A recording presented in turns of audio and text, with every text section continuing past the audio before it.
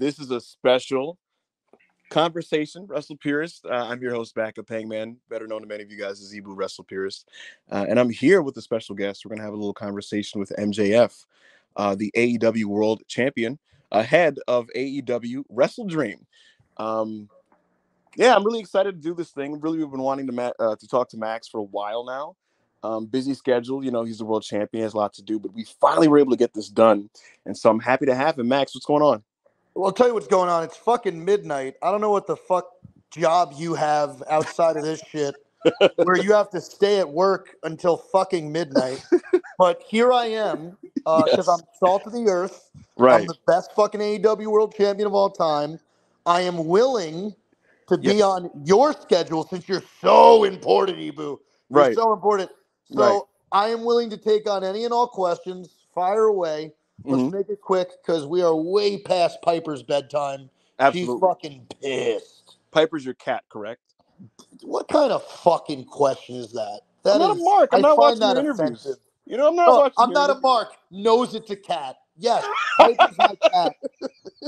Yes. Yeah, you know, WrestlePurists conversation. So yeah, to pull back the curtain, it's late as fuck. You guys are not going to see this at midnight. This will be a a taped interview premiering probably on a Saturday. No, no, no. You'll have the pleasure of yes. having had eight hours of fucking sleep when you listen to this interview. Okay? Absolutely, absolutely. Okay.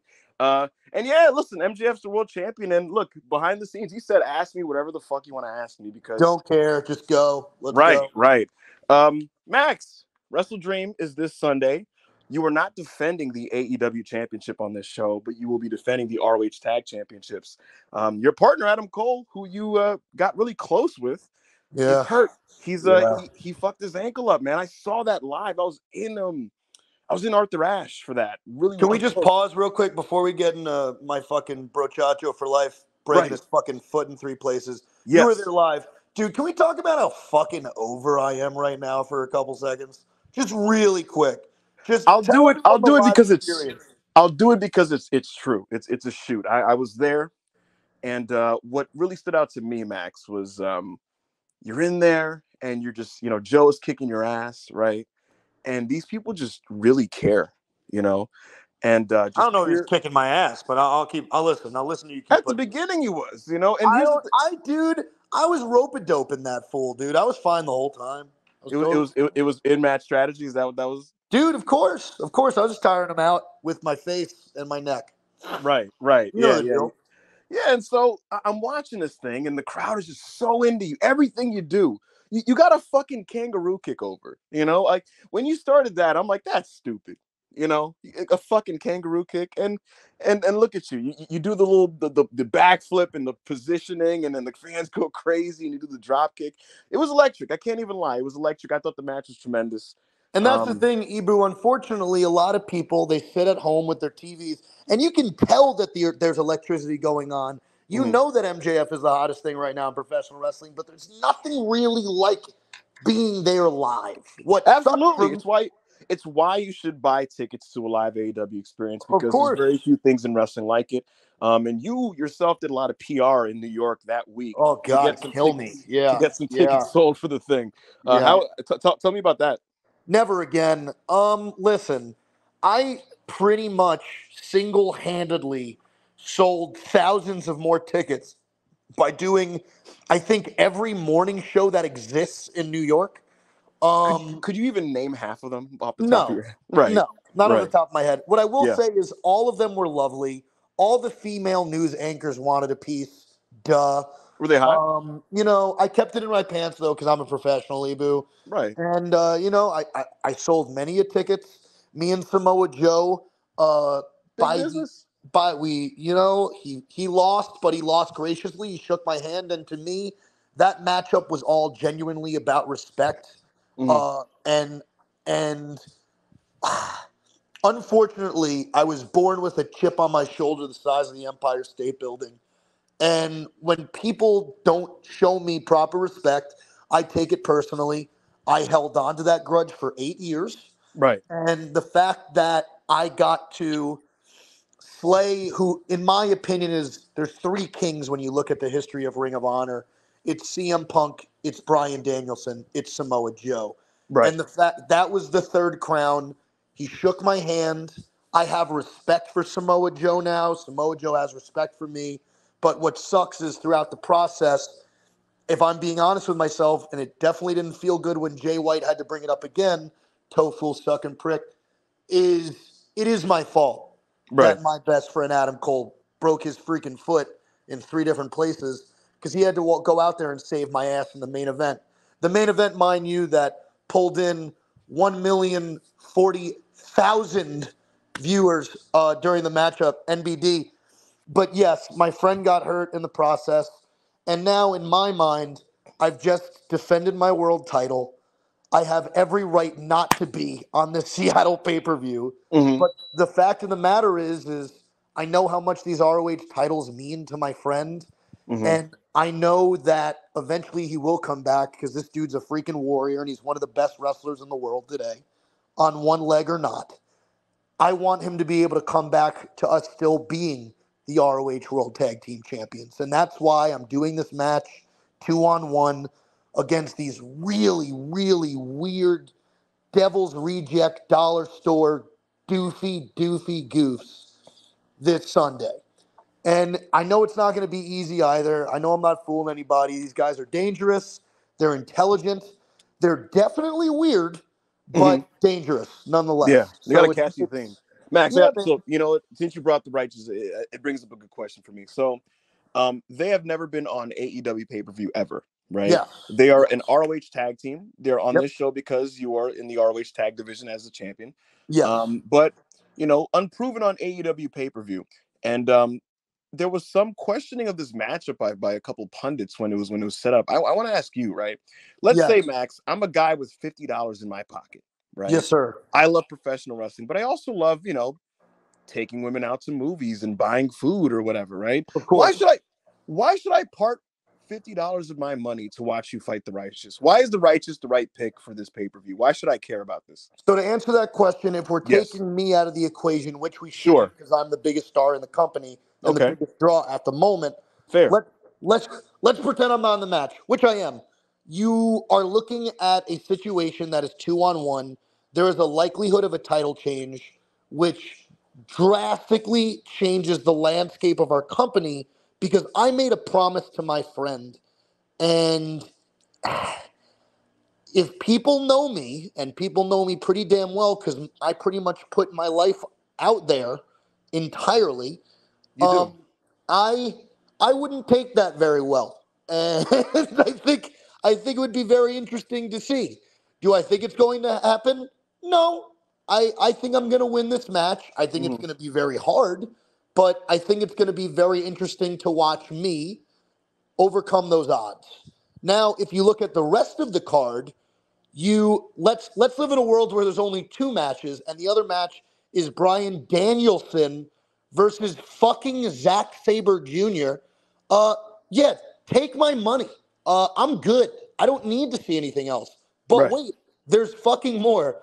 There's Christian Cage, who I think is a schmuck. However, in my opinion, this is the best he has been in his entire career.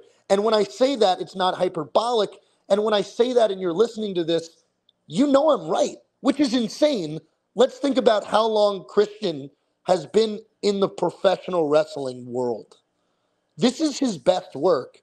And he's about to go in there with Darby Allin. Now, have I beaten Darby with the side headlock takeover twice?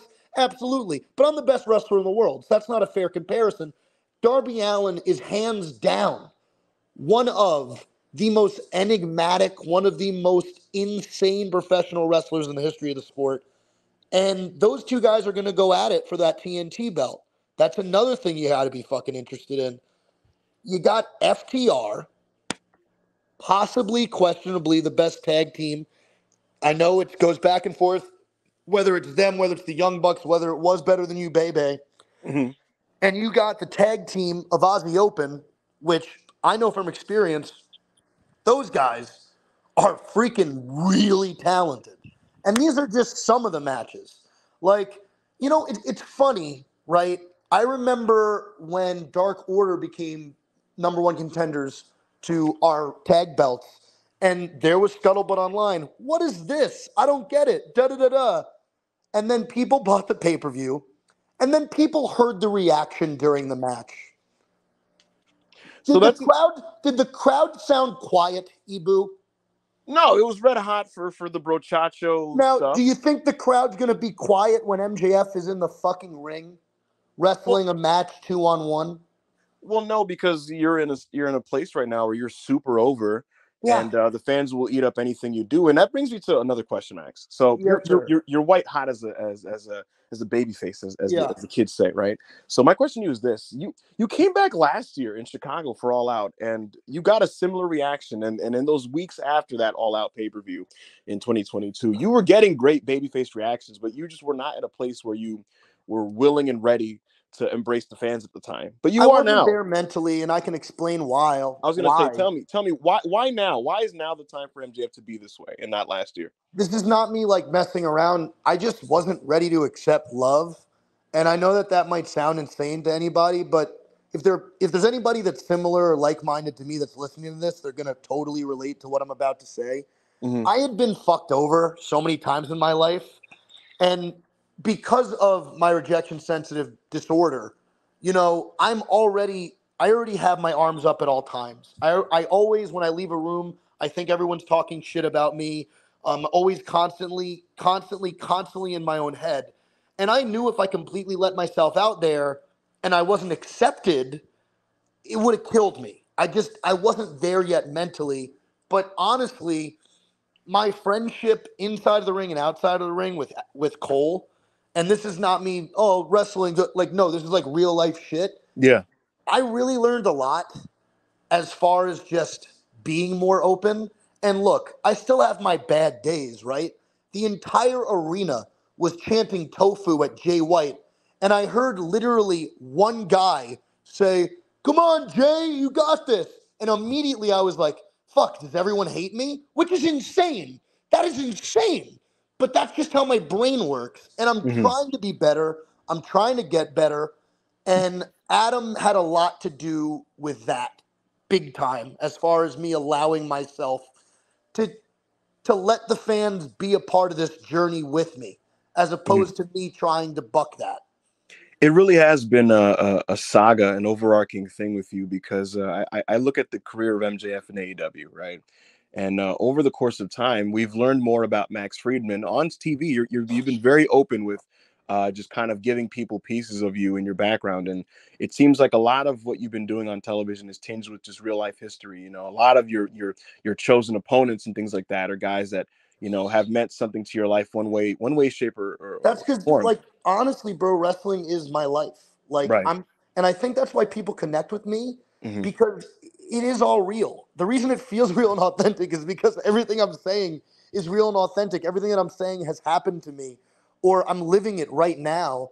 Mhm. And and I, I think that's why people want to be on the ride with me. And yes, I am flawed. I am the furthest thing from a perfect human being. Um, but I think people respect that too because I'm I'm just I'm real. right. I'm real. You so, know? so, so Max, you know, I, I, I totally hear you. I, so here's my thing.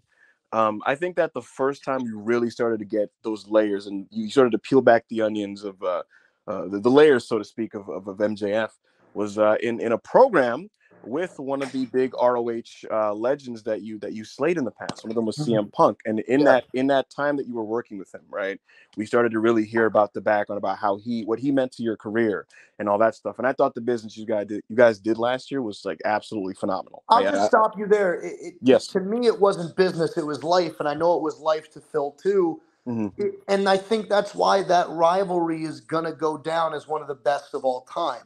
Mhm. And that I'm proud of.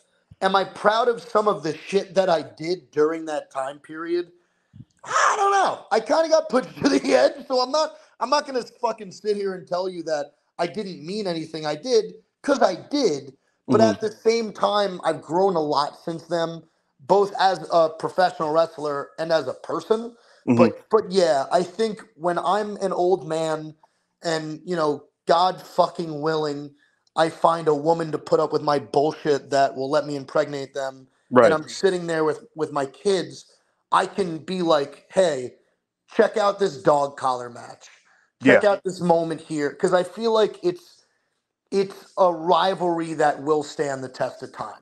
I amongst totally agree. other amongst other things that I, frankly I feel like I've had a couple of those and I've only been on national TV for 4 years and that's Mhm. something I take a lot of pride in. I feel a lot of guys take pride in their matches. Me personally, all I really care about is if I win or lose. What I'm really more concerned with is is the person watching at home feeling like they're getting their money's worth and their time worth watching me on their TV because Right. time is precious. We're all dying slowly. That's just a fucking fact. We don't talk about it. We don't talk about it because it's scary, but it's just the truth. So the fact that somebody's willing to turn their TV on for fucking two hours to watch our programming, I think it would be disrespectful as fuck if I didn't try to give you guys 110% week in and week out. I love to hear that. And you know, you would hope that like this is the mentality of everybody who suits up there to go out there for an AEW program. Uh, you, you- you talk about how this wasn't, it wasn't business. It was just your life, right? Um, I, I, I totally hear you. I, you could kind of see it in, in uh, you know, on the on-screen stuff. But um, the thing about Punk is he came back this year when AEW Collision uh, was launched, right?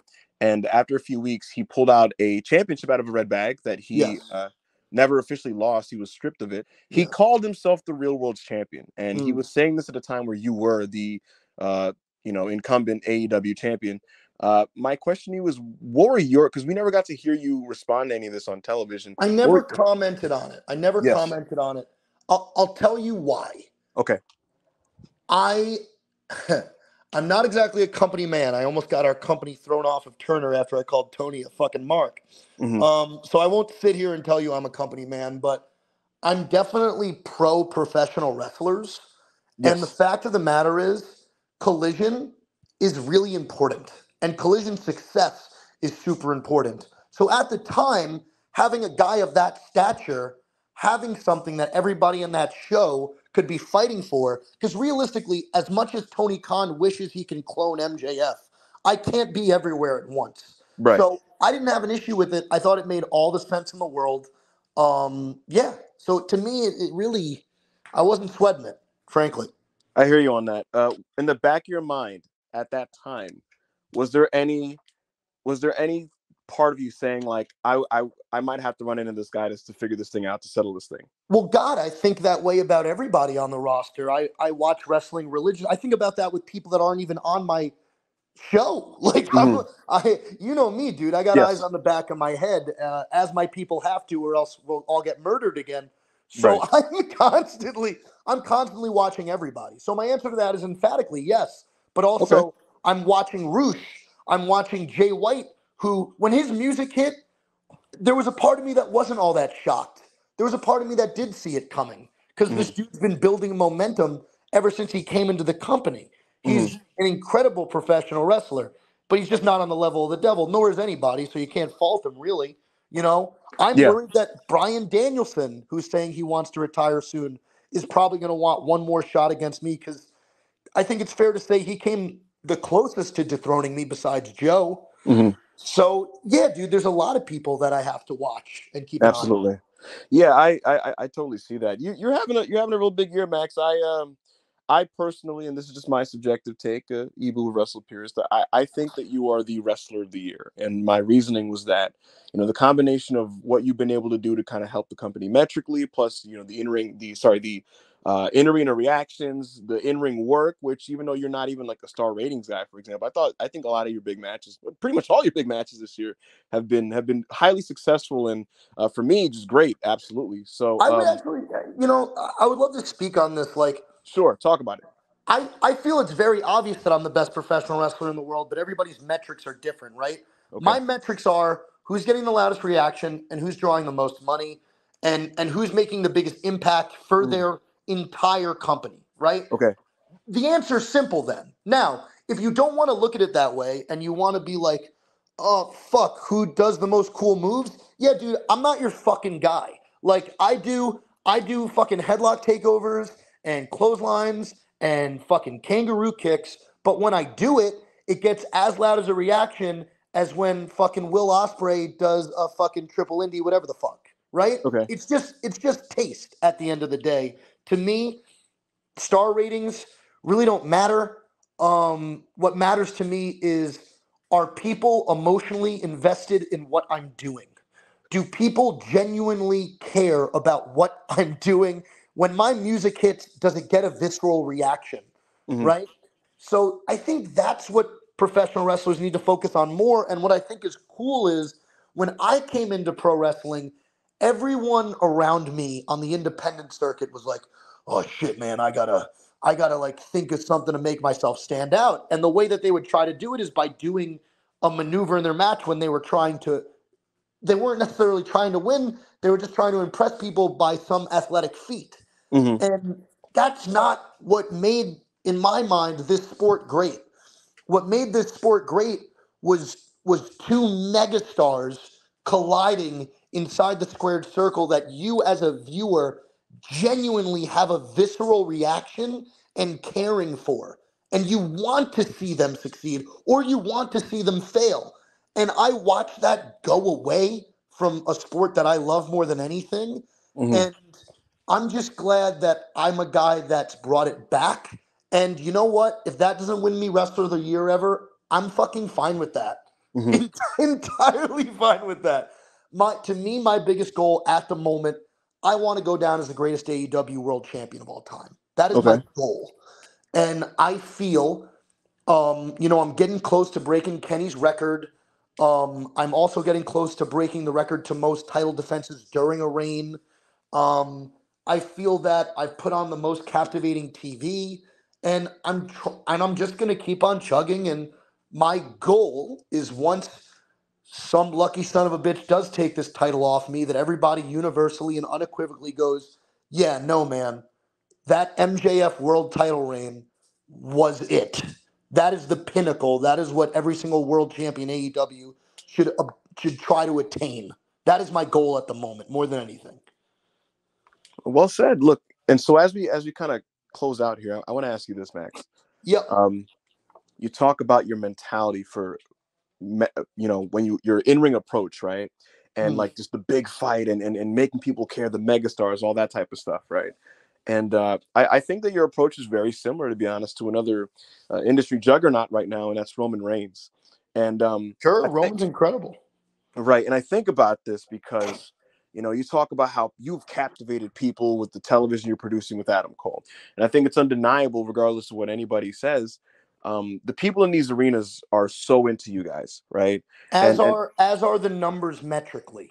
Okay. So it's it's you know, here here's the deal. What's cool is with with my shit is even the snarkiest of smarks is putting my shit over.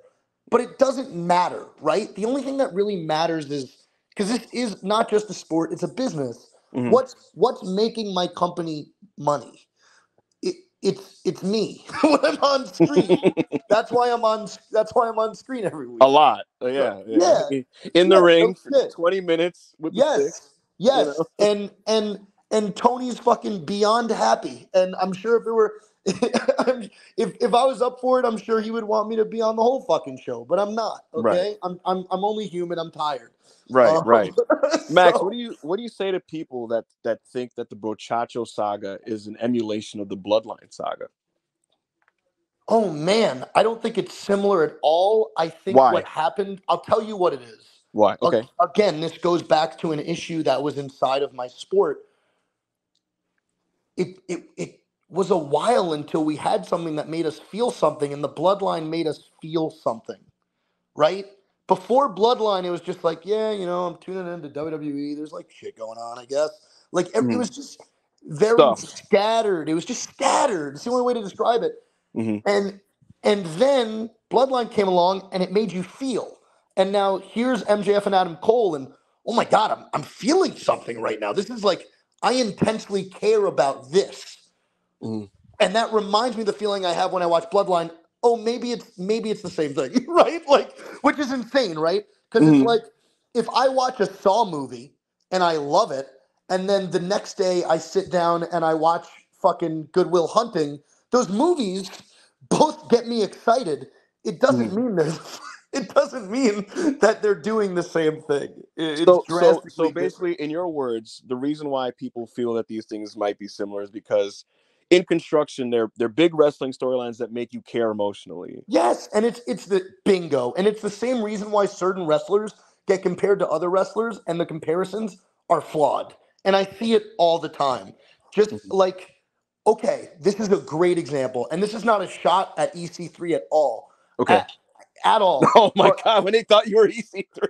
when but but it's true. When Yeah. I first came onto the scene, the first week of AEW Dynamite, I went out there, I cut a great promo, had a match with Brandon Cutler, and then you know, I I my my friends hit me up. They go, "Yo, people are calling you like EC3 Junior and Albel and Alberto Del Rio Junior," and I'm like, I'm like, holy shit, that's insane. like, I'm not Alberto Del Rio. because like because I'm like in shape and I can talk and okay and I yeah I mean I wear a scarf like I, Th- I there is there is a growing subgenre of like talky talk white guys, you know, in wrestling that like, you know what I mean? Like I feel like we are starting to create like a Miz factory, you know. it, it's it's just odd but I feel like the fans are creating it in their own fucking headcanon. You know what I mean? Like you know who I feel bad for?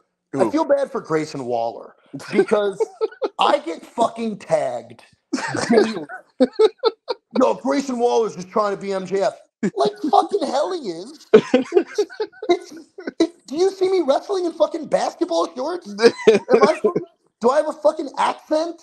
Do I, am I six foot two? Like no, like He, like he's just a promo first guy, and so it's like, oh, he's MJF. you know? exactly. And and again, and it's not the fans' fault, right? Again, there's a wrestler that makes you feel something throughout the avenue of talking, right? Mhm. Oh fuck, who else makes me feel something throughout the avenue of talking? MJF. Oh, dude, he's copying MJF. No, he's not, you fucking idiot. Like we're just both good at talking. what are you talking about? So it's, it- it's Re- It's wrestling fans are definitely funny, but at the same time, who am I kidding? I'm the biggest wrestling fan of them all. I'm the Right. one who's willing to get dumped on my head just to leave a, a legacy for a sport that I care deeply about, frankly. you are clearly a wrestling fan. I watch your work and I, I see pieces of lots of different things. I see homages to different things. Um, you say you're not, you know, what you're doing isn't necessarily bloodline. It's just that people care. What Yeah. are what what right now when you go out to the ring, right? When you do what you do and you approach a big match, what is, I guess, motivating or not motivating? What what's influencing your work right now? Dude, that is such a loaded question. It's unfair because I watch everything, Right. um, except New Japan. New Japan sucks. right. But uh, outside of that, I watch everything. Um, I feel like I try to take the best of each era of professional wrestling, Mhm. the, the things that I am the most passionate about, and I mix it into a little gumbo pot. And Mhm. and that's just always the way I've approached this sport. I hear you. Max, you have always been a talker, right? 2019, you came in, you were the guy talking shit and making people mad. Now you're an all around player, big baby face, you know, top champion. In your own words, what's the difference between Maxwell Jacob Friedman 2019 and Maxwell Jacob Friedman 2023? Maxwell Jacob 2019 was a scumbag. Maxwell Jacob 2023 is your scumbag. Oh, that's perfect. That's perfect. I'm pretty good at this. Thank you. Yeah, you know, yeah, you know, you, you can do it a little bit. All right. And then I guess my last thing Mm. is you are the AEW champion.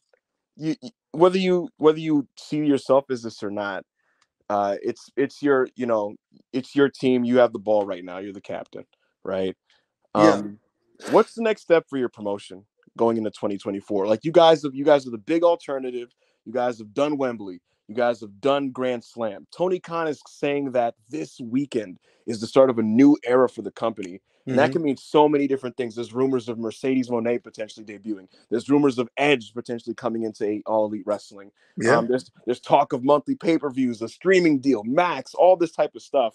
Um, very exciting times, I think. Uh, and, and and and things are going well with the ratings.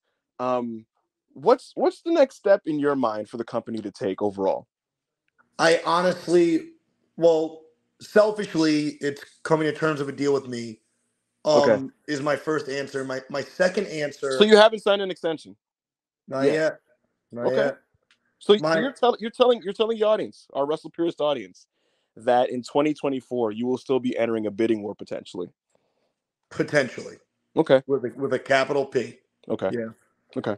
And my the the second answer I would give to that question is Turner loves us right now. Mhm. We are in the top three on a weekly basis. Mhm. We are, frankly, the the second hot, hottest property that they that they own. The first hottest hottest is the NBA, which, to be fair, had a bit of a head start on us. A couple, couple, Um, couple, fifty years, you know. yeah, 60, something like that. Yeah. So we're we're sitting pretty, and uh, sometimes I'll read Sk- Sky is falling stuff online, and it makes me chuckle. Mhm. Um, I'll bring something to everyone's attention that nobody wants to talk about, and it's even becoming blatantly obvious for Raw and SmackDown.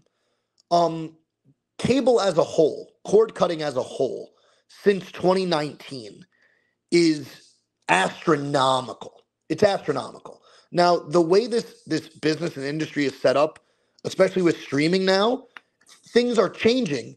Now, pro wrestling is one of the hottest products that a cable provider can or like a big cable network can own because live sports is king. In mm-hmm. in a streaming world for cable, live sports is king. And that's what we are. Like so 890,000 people in 2023 frankly is the equivalent to a million people in 20 fucking 19. And and that's just the fucking fact that people don't want to talk about because people get weird about the cord cutting thing. If you actually do the math and you look up how many houses and households have just Mhm. stopped, like be honest, Ibou, do you have a cable box? I haven't used cable since 2017. There you go, dude. And I would imagine that a lot of the people that are listening to this haven't either. But genuinely, we're giving people a reason to buy a fucking cable box. That's Mhm. that is that is the undeniable truth about both WWE and AEW. Um, I think that they're gonna fucking give us a really good deal, and I Mhm. think that that's the next step for AEW because once they give us that good deal, then you can play, you can pay excuse me, big money players like me what we're worth. And and that's huge. Because Right. right, now, undoubtedly, and I think oh, I think everyone would admit this, I feel we have the strongest bell to bell roster probably in the history of the sport. And I don't feel that's hyperbole at all. Me, Bryan Danielson, Jon Moxley, Adam Cole, Roderick Strong, fucking piece of shit, but Roderick Strong, Darby Allin, Chris Jericho, Claudio Castagnoli, Eddie Kingston, fucking Brody King, like Rush. Now I'll just keep Ricky Starks, Will Hobbs, Samoa Joe, Miro, Malakai Black. It's an embarrassment of riches, bro. I Yeah. can sit here and go on and on until my face fucking turns. So much, so much so that like not even everybody can get like a push. You know, like well, well like hey, baby, daddy's got to take up all that TV time. We got to fucking pop Yeah. a number, okay? 20, 20 what- minutes pop a quarter, right? Yeah, You know what the deal is, baby. Fucking read the fucking quarter hours, pal. yeah, But- yeah. Um, that's my deal. That's that's that's what I think the next step is. Is just us coming to a uh, a term of agreement with uh, Turner. And outside of that, what I also will say is, um, I don't know if it's gonna happen, but I think if we do get on Max, that would be massive. Oh, absolutely. Massive. I'm tired That of would- spending fifty dollars. I, I, I got to be real with you, man. I, I you know, I, I dude, I, I hear you. Look, a lot of a lot of my fans are poors, and I respect that. I really do. yeah, But you know, if you're not a poor, worthless piece of shit like Ibou, we have a pay per view coming up this Right. Sunday, right? October 1st. You Mhm. can watch me successfully defend the ROH tag titles single handedly against the righteous. Absolutely. You heard the man. That was MJF plugging uh, WrestleDream in his match against the Righteous. And so uh, for Max, I'm backup hangman, Ibou Wrestle Pierce. I want to thank Max for doing this interview. And this was a special WrestlePurists conversation. We'll catch you guys next time.